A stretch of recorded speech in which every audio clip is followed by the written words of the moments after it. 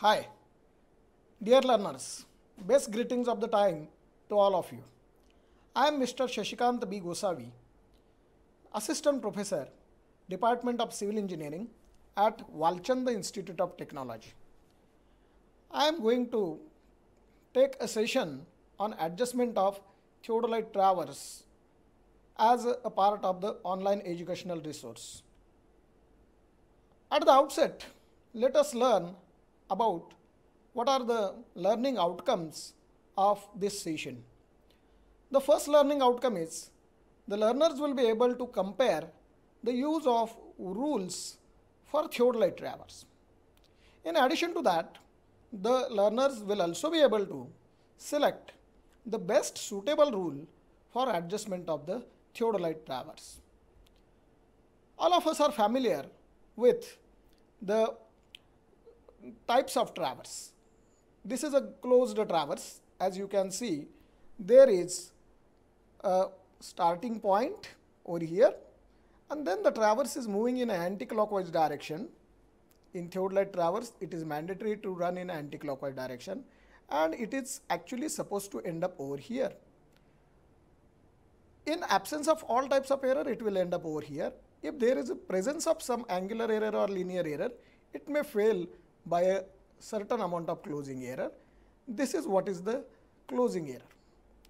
The field procedure for the theodolite traversing consists of measurement of included angles by repetition method at all these stations as well as measurement of magnetic bearing for each of the side of the traverse in forward direction as well as in backward direction which we call as the fore bearing and back bearing. In addition to that, we are also measuring length of the sides of the traverse with utmost precision. As you are familiar with from the earlier session that there is a standard shape of a Gale's traverse table which is used for entering the data of theodolite traverse. As you can see, the Gale's traverse table consists of these many number of columns beginning with serial number, name of the station, name of the line, name sorry the length of the line, the observed included angle corresponding to that particular station. Then by calculation we will be working out the corrected included angle. There will be observed fore bearing and observed back bearing corresponding to this particular line. The bearings will be corrected with the help of release of the local attraction as well as because of the known included angle and finally we will be getting the corrected fore bearings. These corrected fore bearings which are in the whole circle bearing system will be converted into reduced bearing system because that is how the rest of the calculation of the coordinates of theodolite traverse are carried out. Here I have shown the consecutive coordinates. These are the coordinates of every station with reference to its preceding station. You can see here even though the station is P, I have not given a name as PQ, I have given a name as VP, assuming that V is the preceding station and P is the succeeding station. And therefore, when I am calculating the consecutive coordinate of station P, these are actually the coordinates of P calculated with reference to V. And therefore, length VP and quadrantal bearing of the line VP are used for calculating the consecutive coordinate of station P.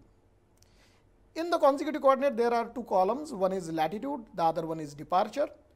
In the latitude, we have two subcolumns, northing and southing. As well as in departure, we have two subcolumns, easting and westing. The latitude can be calculated with a very simple formula L cos theta and departure is calculated by using a formula L sin theta where L is length of the respective side VP and theta is the quadrantal bearing which we have got under this particular column for the same line VP. This is how the data is entered into the Gale's traverse table. Here you can see from the calculated L cos theta, L sin theta, latitudes and departures, we can at the bottom of the table do the summation of all the latitudes as well as all the departures. Remember very well northing latitudes are treated positive, southing latitudes are treated negative, easting latitudes are treated positive and westing departures are treated negative. And therefore, when we are trying to find out whether the closing error is present or not, normally we will take summation latitude and summation departure. Theoretically speaking, if we are starting from a particular station and coming back to the same station, the gross movement may be this much, but the net movement will be coming back to the same station and therefore, the latitude summation must be 0 as well as summation of the departure should also be 0. But practically it may not happen and therefore, there may be a failure of closure in the form of P dash PO as has been shown in the figure.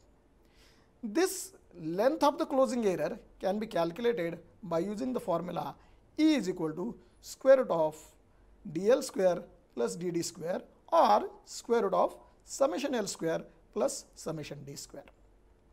One can deduce or conclude regarding what is the degree of accuracy that has been achieved in this particular case. It is equal to the length of error of closure divided by total perimeter of the traverse. This ratio gives us idea about what is the degree of accuracy that we have achieved. In first order work, it is expected that it must be 1 as to 10,000. In 10,000 meter, 1 meter error is permissible. In second order, it is 1 as to 5,000. In first order, it will be 1 as to 2000 and therefore depending upon the order of the accuracy desired from the work we can make a decision about whether the error is acceptable or not and if it is within the acceptable limit then we can proceed further for redistribution of that error or removal of that error. The other thing that has been shown over here is theta is equal to tan inverse dd divided by dl or theta is equal to tan inverse summation d by summation L. This is the angular position of the closing error. As you can see over here, this is theta, angular position of the closing error, which is ratio of uh, tan inverse of ratio of summation d by summation L.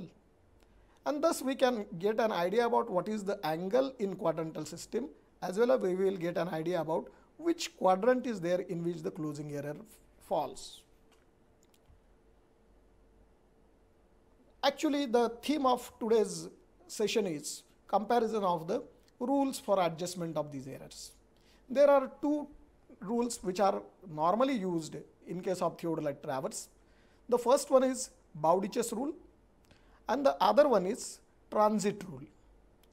The Bowditch's rule is used when the angular measurements are equally precise to the linear measurements the total error in latitude and departure is distributed in proportion to length of each side of the traverse. Thus, if CL or CD is correction to latitude or correction to departure, it will be equal to correction to latitude of any side. Similarly, summation L or summation D is equal to total error in latitude or departure. Summation L has been shown over here that is equal to length of perimeter of the traverse, summation of length of all sides of the traverse. L is length of any side and thus CL that is correction to latitude will be equal to summation of latitude multiplied by length of the side divided by the perimeter of the traverse which is summation L. Similarly, correction to departure is equal to summation D into ratio of length of the respective side divided by summation of the respective departure and thus uh, summation of respective length of sides of the traverse which is nothing but perimeter. Thus the correction to latitude and correction uh, to departure can easily be known to us. The other rule which is transit rule is given a name as transit because it is particularly useful for the very precise theodolites. If angular measurements are more precise than the linear measurements, we will opt for the transit. If correction to latitude is denoted as CL or correction to departure is denoted as CD, total error in latitude or departure is denoted as summation L or summation D. Latitude or departure of the line is denoted by L or D. And arithmetic sum of latitude or arithmetic sum of departure is indicated by LT or DT, then the formula which is used in the transit rule is correction to latitude is equal to summation L which is nothing but total error in latitude. Try and understand this is a algebraic sum of latitude. Northing treated positive, southing treated negative multiplied by latitude of the side divided by LT which is nothing but arithmetic sum of latitude. That means northing and southing both of them are added together irrespective of any sign conventions. So LT is arithmetic sum, summation L is algebraic sum. Similarly, CD is equal to summation departure into D divided by dt. Correction to consecutive coordinates are supposed to follow these rules about whether it should be added or deducted from the earlier latitude or departure. The balancing part of Gales traverse table has been shown over here wherein you can enter the latitude departure, you can enter the values of the corrections in the respective columns and finally corrected consecutive coordinates can be calculated. Pause the video and answer the following multiple choice questions. These are the answers of the questions that I have asked.